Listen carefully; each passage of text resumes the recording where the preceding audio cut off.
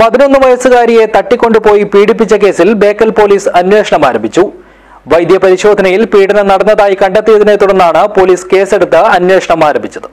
This news sponsored by Jyothi institute of medical technology Nithyananda building main road Kanhangad. ഒരു മാസം മുൻപായിരുന്നു സംഭവം. റോഡിലൂടെ നടന്നു പോകുകയായിരുന്ന കുട്ടിയെ തട്ടിക്കൊണ്ടുപോയി ഒരു കടമുറിയിൽ വെച്ച് പീഡിപ്പിക്കുകയായിരുന്നു. വായിൽ ഷാൾ തിരികിയ ശേഷമായിരുന്നു പീഡനം. വയറുവേദന അനുഭവപ്പെട്ട കുട്ടി വിവരം ബന്ധുവിനോട് പറഞ്ഞതോടെയാണ് പീഡന വിവരം പുറത്തറിഞ്ഞത്. വൈദ്യപരിശോധനയിൽ പീഡനം നടന്നതായി കണ്ടെത്തിയിരുന്നു. കുട്ടിയുടെ രഹസ്യമൊഴി പോലീസ് രേഖപ്പെടുത്തിയിട്ടുണ്ട്.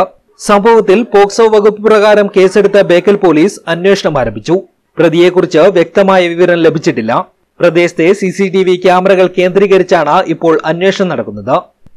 News bureau Uduma.